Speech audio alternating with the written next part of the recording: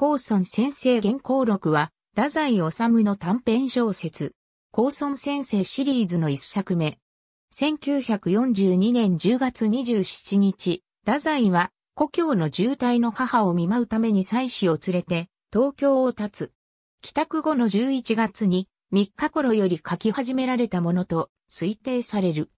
本作品は、はじめに、コーソン先生が山椒魚にしこりつけ、大損をした話をお知らせしませよという文章で始まる。コーソンが大損にかけた言葉であることを思わせることから、彼の名前は大損先生と読むのが通例である。語り手の座談筆記としてコーソン先生が日本の大きい山椒魚は、これは世界中で大変な高いものだそうでございまして、私が最近石川千代松博士の著書などで研究いたしましたところによれば、また、日本でも古くは、佐々木忠次郎とかいう人、石川博士など実地に宮山を歩き回って調べてみて、その結果、岐阜の奥の九条郡に八幡というところがありましてと、語る場面がある。石川千代松は、進化論を日本に、初めて体系的に紹介したことで知られる、動物学者。1935年1月17日にこの世を去っている。佐々木忠次郎は、養蚕学、静止学の開拓者として知られる昆虫学者。1938年5月26日にこの世を去っている。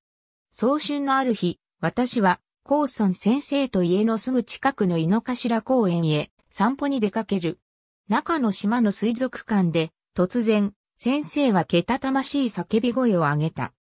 やあ、君、山椒魚だ。山椒魚。確かに、山椒魚だ。生きているじゃないか。君、恐るべきものだね。それから、一月ほど経って、阿佐ヶ谷の先生の自宅に立ち寄ると、先生はすでに一パシの動物学者になりすましていた。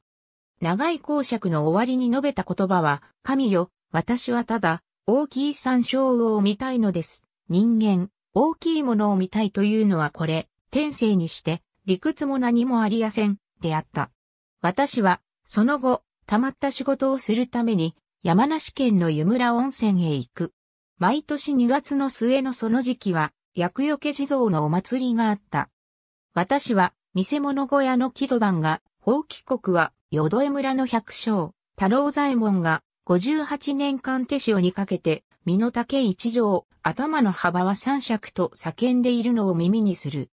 私は、先生が言っていた、法規国淀江村の大山小魚はこの小屋にいるものと、確信し、湯村の村外れの郵便局から第三世を見つけたと電報を打った。ありがとうございます。